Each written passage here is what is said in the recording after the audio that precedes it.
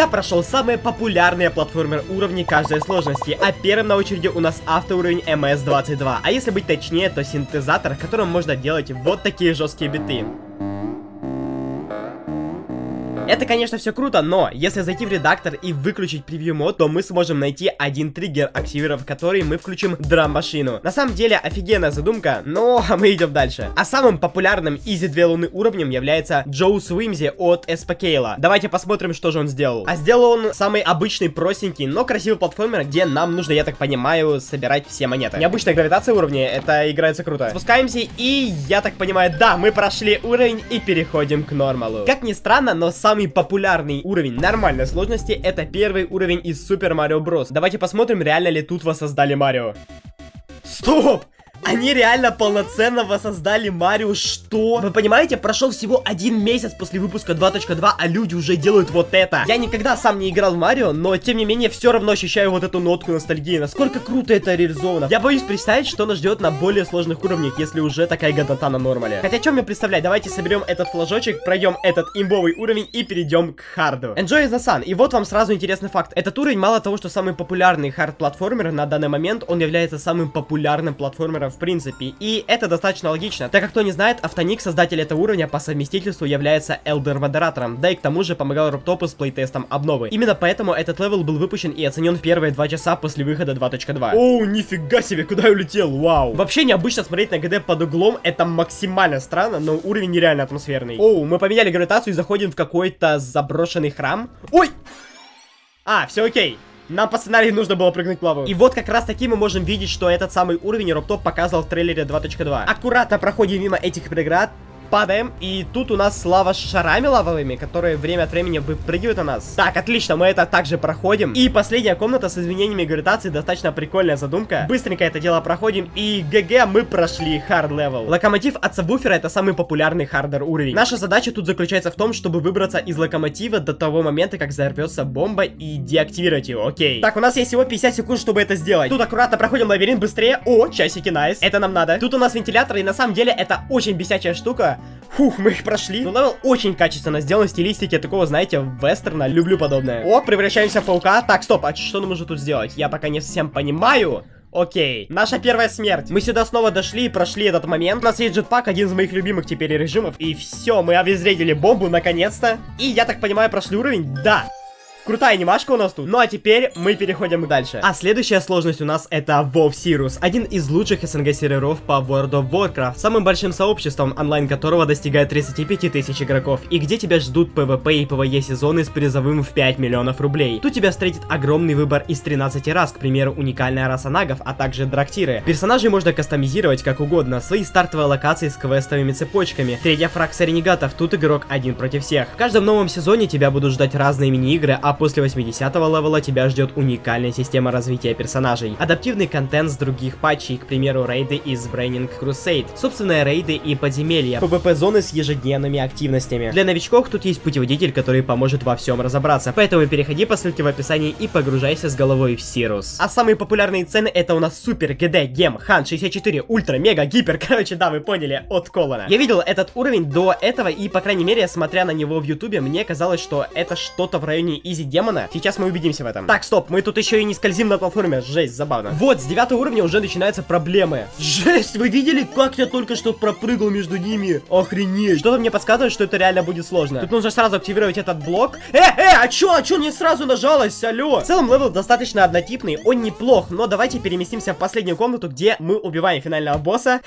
Коробкой об голову и проходим. Nice. Самый популярный easy demon это Forsaken City, и я уже вижу, что это что-то необычное. Вау. То есть наша задача на инерции перепрыгивать все шипы. Вот наоборот, не нужно спешить, и мне это нравится. Так, тут вообще какая-то головоломка, мне нужно эти платформеры активировать все, но при этом, чтобы я не умер. А, я понял, смотрите, мы сначала активируем эти два объекта, а потом эти. Все, и отлично, проходим дальше. Тут вообще надо сделать несколько прыжков одновременно, и мне просто не дают расслабиться. Фух, это жестко. Так, у нас тут, как я понимаю, одна из последних комнат, потому что тут очень много всего. Нифига себе, как все быстро и... Ай, блин, меня придавило. В конце не нужно зажимать направо, тут надо просто... Вот так, аккуратно, фух. На розовом орбе можно передохнуть. Поехали. Так. Так, nice, мы все это сделали. А, и что, это все, что ли? Ну, уровень очень крутой, с интересной механикой, но, тем не менее, у нас дальше medium demon. И не просто какой-то самый популярный, а с легендарной оценкой. Многие почему-то с этим не согласны, хотя level реально крутой. Под него даже трек написан. Но так как я играл и проходил его раньше, то для себя сделаю нереальный челлендж. А именно, я попробую заспидранить и попасть минимум в топ-30 лидерборда. Погнали. На самом деле, level очень крут для спидрана в плане того, что тут очень много скипов на skill, да и в целом надо двигаться максимально быстро, как я делаю это сейчас. Так, берем checkpoint и начинаются первые скипы. Оп! А вот и первый, и подобных еще дофига. Но самый большой скип вы увидите вот сейчас. Зажимаем dash orb и просто ждем. И вуаля, мы мало того, что оказались прямо возле нового чекпоинта, так и еще полностью скипнули другой. В этом левеле также есть один странный баг на ветряном парте, и кто в него играл, наверное, замечал то, что когда ветряная буря начинается впервые, нас сдувает немного сильнее, чем нужно. Не знаю, с чем это связано, но вот для спидрана эта штука очень важна. Сейчас я натренирую все это дело и покажу, как можно полностью скипнуть парт с парой кликов за 10 секунд. Так, так. О, чё, аккуратно! О, жесть! Не, ну вы все сами видите, офигенный скип, связанный со скиллом, реально. Ну и последний парт, в котором на самом деле есть пара очень сложных скипов, но я их собирать не буду, так как это слишком опасно, чтобы вы понимали, один тут вообще чуть ли не frame perfect, причем рандомный. Поэтому давайте наконец-то попробуем полностью заспидранить этот левел. Итак, поехали. Первая попытка достаточно неплохая, вроде как, да? Нет, плохая. Весь прикол спидрана заключается в том, что если я допускаю хотя бы одну маленькую ошибку, хоть на этой горе или где-то дальше, мне все нужно будет начинать сначала. Тут мы перепрыгиваем, nice, отлично начали. Сейчас нужно вовремя отжать. Ой, куда я улетел? Куда? Что? Так, тут скип. Ай, я не успел нажать, ну что ж такое? Так, отлично, вторая часть пройдена. Самое главное не забыть, как проходить ветер. Так. Ой-ой-ой-ой, куда я залетел? Зачем я туда зажал? Просто. Так, отлично. Остался последний парт. Главное не паниковать. Все или ничего? Все или ничего? Ничего! Боже, что я сделал? Зачем я там так нажал? Фига меня сплющило. Да что это такое?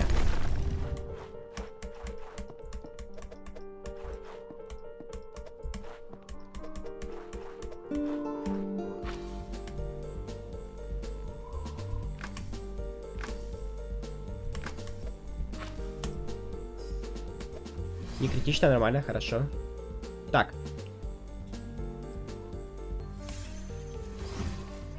На тоненького попал на дешор просто.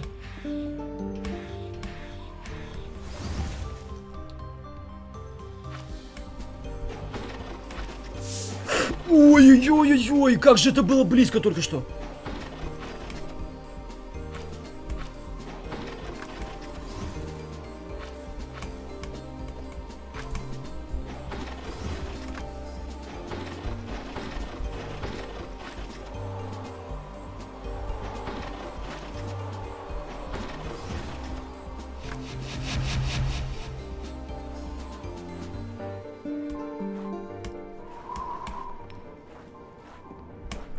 Так, так, да, да, да, давай, родной, последний рывок.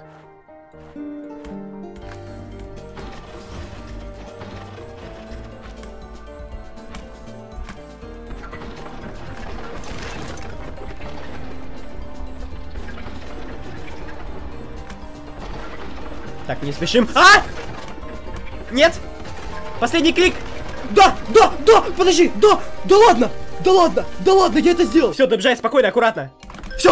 Подожди, сколько? Сколько? Подожди, сколько? 124 секунды! Охренеть просто! Теперь какое у меня место? 25 сюда! Блин, чуваки, я проходил на 3 часа, жесть. Думаю, я заслужил подписку и лайк, потому что это очень жестко. Но, знаете, мне понравилось. Давайте, если я увижу много комментов про спидран, я попробую в будущем еще какие-нибудь самые популярные платформеры заспидранить. Думаю, это должно получиться офигенно. Ну, а мы, наконец-то, переходим к хард-демонам. Самым популярным является Tech от Гальватрона, и не зря, ведь в нем есть очень интересные механики. Первое, это dash boost, как видите, и выглядит это очень эффектно. А вторая это slope boost, и заключается она в том, чтобы преодолевать огромное расстояние слоупов вверх. Как вы знаете, у куба есть так называемая энергия, но с помощью этой фишки мы ее фактически обнуляем. Эти две механики офигенно работают в уровне, мы его дальше аккуратно проходим, и Робу отдельный респект за это. Так, я так понимаю, мы опять разгоняемся? О, нифига себе, что? Вы, вы видели, куда я кликнул? Ну же, давай. Так и затормозить. Nice! Это было проблематично. Я пока что не понимаю, как активировать этот орб и при этом забраться обратно. Тут slope boost, но какой-то сложный. О, что? Как я это сделал? Так, окей. Сейчас главное не слить. Ух, nice, просто nice. Как же мне повезло только что это было реально сложно. Ладно, slope boost это очень сложная механика, я в этом только что убедился. И сейчас, по-моему, налево прыгать. Да, кайф. А тут типа мне нужно совместить буст с платформой из дэша. А, нифига себе. О, вот что я сделал только что. Тут еще один буст, разогнались, так. А, что? Нифига себе там кликов. Такс. Так, так, аккуратно. И... О, нет, тут последний slope boost. О, да! Все, мы походу прошли хард-демон, но все только начинается. Я боюсь представить, что нас ждет в Инсейне и Экстриме. Stellar Infection, либо же более известный как босс из Террарии Calamity мода. На самом деле крутой левел с офигенно проработанным боссом. Посмотрите, как он стреляет и двигается. Я хоть сам в Calamity мод не играл, но ощущение будто прямо сейчас в Террарии. В нем прикол то, что достаточно хаотичный. И вот он сейчас разъединился, это просто жесть. Мне достаточно убить кого-то одного, чтобы пройти левел. Но это нужно еще попробовать сделать. Если бы в этом левеле не было хилок, мне бы была капзда, хотя у меня уже почти нет HP. О, новая хилка. Сейчас ее надо еще аккуратно собрать. Что? Просто что? У него оставалось 38 хп, как? С каждой новой попыткой я все больше убеждаюсь, что победить это рандом, потому что посмотрите, просто что он творит? У меня было full хп, он мне снес все, как? Просто как? Я не понимаю этого. В начале игры в этот шедевр я реально не подозревал, что будет все так плохо. Босс-файты в ГД это та еще фигня, и сделать хороший многого стоит, поверьте. Типа нет, я не говорю, что это прям плохой босс-файт, он красивый и все такое, но тут нет тактики. Тебе тупо должно повести с тем, как по тебе будут стрелять, как ты случайно не потеряешь все хп за секунду, когда выпадет хилка, это реально полный рандом. Так, все, я напал на красного, пока все отлично, надо просто его убить, просто. Хилку, Хил, хилку бы. Ай, ну, ну, ну, 17 хп! Вы что угораете просто? Что я должен был тут только что сделать? Просто, ну... За первый день у меня не получилось пройти этого босса, но на следующий я решил подрубить стрим, и вот что из этого получилось. Нет, нет, одна хп. Хилку дай. О, хилка! Так, найс. Подожди, подожди, подожди. 17 кп. Давай, 17 кп. Ну, да, да, да, да. Наконец-то просто! Это такой рандом! А теперь то, чего всегда долго ждали. Экстрим. А таковым сейчас является Айвона Бизагай. Ну что, понеслась. Я его тренил, и сейчас у меня уже более тысячи попыток. И что я понял, так это то, что самый сложный момент уровня по факту это дойти до первого чекпоинта и до последнего. Все остальное реально проще. Спидран, поехали. Хорошо, осталось не менее сложную половину пройти. Отлично. И теперь от чекпоинта меня отделяет один сложный клик. А ну, смогу? О, да, отлично. Фига себе за 50 секунд поставил. Походу, я очень хорошо размялся. Вот это на самом деле не очень приятный момент. Так, о, найс, остался последний сложный клик тут. Эх, да, это был именно он. Да, все, осталось пройти. О, найс. Так. Надо аккуратно сейчас пройти. Нет, ну блин, опять все заново. Все, попытка номер два, я сейчас должен затащить. Сюда! Первая комната ГГ. Самое сложное теперь позади реально. По факту это самый легкий чекпоинт из всех, наверное, потому что, смотрите, по факту раз, два легких клика и три простых раба. И все, все, максимально просто. На самом деле, это чекпоинт тоже простой. Как видите, я его уже пока что 3 минуты потратил только. Опа, ну и в целом, я думаю, можно закончить, да! У меня отлично получается, почти половину прошли уже. Так, тут дальше такие забавные клики, они сразу могут показаться сложными, но фактически так и есть. Опа, последний клик. Опа, все, найс. Кстати, вот, я дошел до стены смерти. ну, типа, это действительно сложная штука, пока ты не понимаешь паттерн. Вот так аккуратно зажимаем. И да, я сдох. Ладно, не страшно. Рассказываю, как это дело проходить. Смотрите, вы прыгаете, прижимаясь при этом к стенке. И как только видите, что находитесь чуть выше блока, просто буквально на долю секунды нажимаете вправо, в данном случае, и становитесь на край вот так. Да, правда, есть загвоздка, потому что на два блока прыгать проще, чем на один. Фух, так, опять, последний клик, давай. Раз, два, три. Nice, чуваки, мы уже больше половины прошли, охренеть. Но тут сейчас самое сложное будет. Вот этот первый прыжок длинный, сложный жуть. Но, о, мы это прошли. Sheesh, теперь мы должны аккуратненько запрыгнуть. Вот сюда, nice. Nice.